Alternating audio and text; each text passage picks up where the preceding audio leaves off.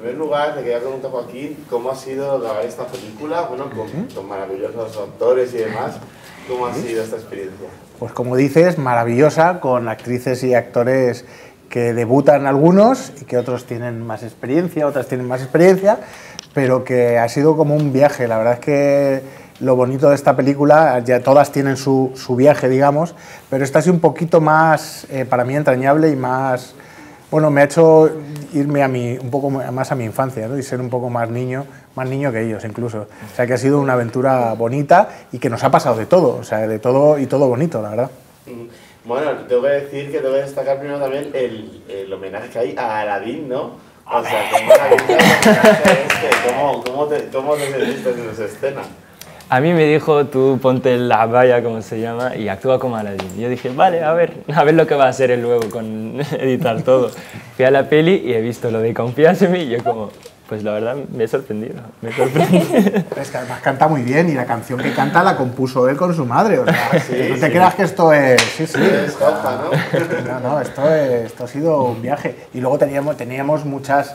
Bueno, tenemos mucha relación con Aladdin por muchas razones Sí. que no vamos a comentar aquí, ¿verdad? Pero, pero, pero Aladdin ha sido un referente para nosotros. Sí, la verdad. Y luego además tenemos a un actor que es más guapo que el propio Aladdin. No. Entonces, ¿qué quieres? No se puede, tener mejor, más peor prima. ¿Y cómo ha sido Harlem? ¿Cómo ha sido el Dago Coleo Harlem? Ha sido, ¿Cómo ha sido? Eh, gracioso Gracioso. y tonto. Y tonto, muy tonto. Puedes decirlo claramente. Comiendo algo de la basura. Y come de la basura a veces. Y te cuenta cuentos raros. ¿No? Sí. Ha sido muy gracioso.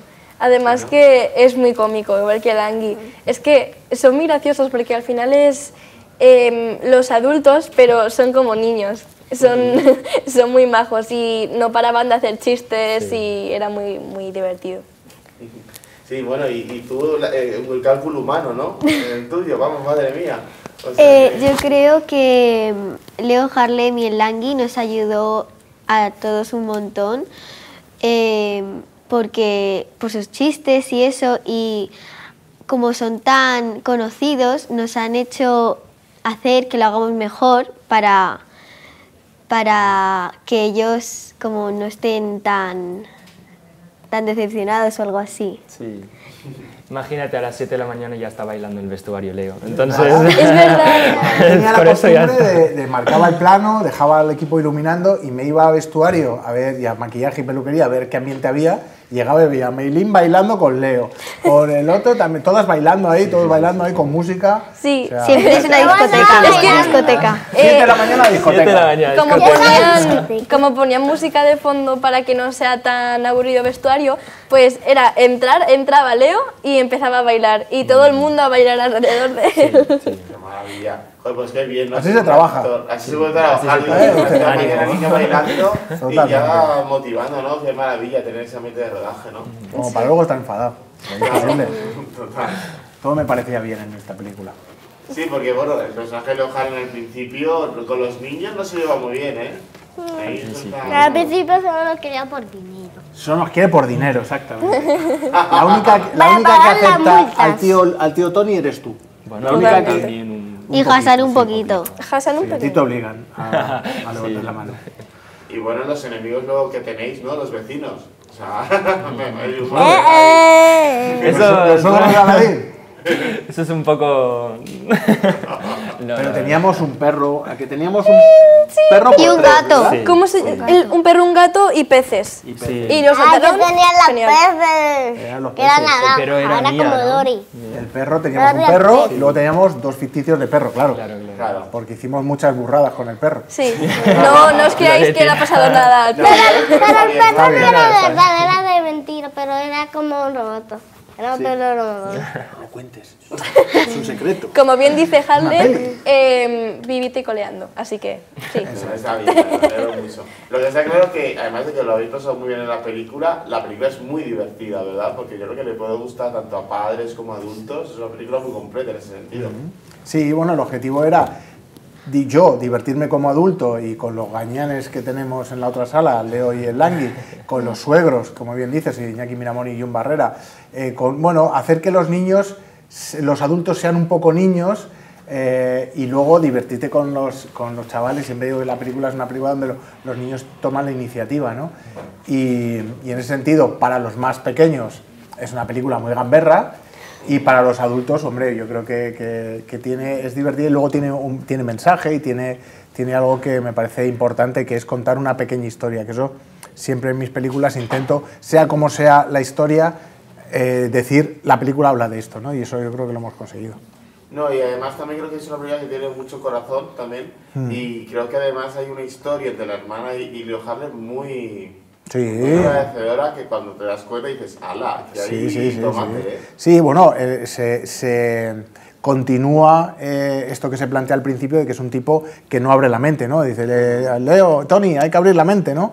Pues es un tipo que no abre la mente para nada. Y estos cinco niños y niñas lo que hacen es abrir la mente a, a este personaje hasta que se da cuenta que, como dices, no, ni siquiera fue capaz de aceptar a su propia hermana eh, por, por- por tener una condición sexual que, que le, que le parecía eh, extraña, ¿no? Que era porque la, novia, eh, o sea, la, herma- la hermana, pues tenía una pareja y era hom- homosexual. Bueno, pues a partir de ahí ya planteas que es un personaje que es capaz de abrir mente y ahí al final de la película dice, pero ¿qué hice? ¿Qué hice? ¿Qué, qué desastre? ¿no? Entonces, en ese sentido, lo bonito es que el personaje cambia y que hay una apertura de mentes ¿no? desde el, prota- el protagonista. Y la casa, que es impresionante, por cierto. La casa, bonita, ¿eh? La casa. ¿Os divertís mucho en la casa? Sí, bastante. Eh, El agua, el agua de la piscina está un poco fría, pero... Bueno, ya, Pero bien. dejarnos un poco, ¿no? Le tiramos nosotros. ah, ¿le tirasteis? Sí, Al sí, final sí. de la peli. Me tiraron al final de la peli. Eh, dos días antes habíamos echado el cloro mm, para parar un tren. ¿En serio? Para que estuviese azul, sí, sí. Salí de ahí, pues no sé cómo salí. vamos. Con dos dedos menos salí. Rojísimo, rojísimo. Rojísimo. Bueno, bueno, veo veo que hay muy buen ambiente, eso es interesante. Y, qué le- y ya por último, ¿qué les diréis a los espectadores para que vieran la familia Benetton? Yo creo que hay mucha gente que la va a ver porque ya sabemos que nos gustan muchísimo estas comedias familiares, pero ¿por qué la familia hay que verla en el cine? Bueno, pues porque yo creo, que levanto una lanza y me atrevo a hacerlo siendo el director de la película, que es una película que reúne las condiciones de ser comedias infantiles que a todo el mundo le gusta, pero que además cuenta algo diferente, algo eh, con un mensaje bonito y que, da un paso más en ese tipo de, comedias, ¿no? En cuanto a, a darle un, un corazón importante, un mensaje también muy, muy moderno y muy actual ya no solo con la ecología, sino bueno, como con la apertura de mentes, básicamente. Yo creo que es una, una película para disfrutar con todo el mundo y, y- y yo creo que, que- que lo van a hacer. Yo creo que es una forma de aprender eh, mientras te ríes, mientras te lo pasas bien. No solo hay que estar literalmente viéndoles y nada, ¿sabes? Como aprendes, pero no te ríes ni nada. No, al final del día es un cómico y te ríes y muy bonito, la verdad. Sí. Y homenaje a Aladdin, además. Y también tiene a Aladdin. Sí, yo, quiero añadir que, es una película que yo entiendo que la gente pueda pensar que está llena de estereotipos, pero lo que, lo, hemos- lo que hemos intentado es no huir del estereotipo, sino darle personalidad a cada uno de los personajes. Yo creo que es así, los conflictos de, de cada uno de estos niñas y niños son conflictos globales para todos los niños del planeta, quiero decir, que, que no, es, no, no es porque sea eh, una china, un árabe, una mexicana, un- no, es, ese, eso me parece que es ya estereotipar la película cuando la película es todo lo contrario. ¿no? Totalmente de acuerdo. Oye, pues muchísimas gracias a los cinco, un placer hablar con vosotros. Gracias. Gracias.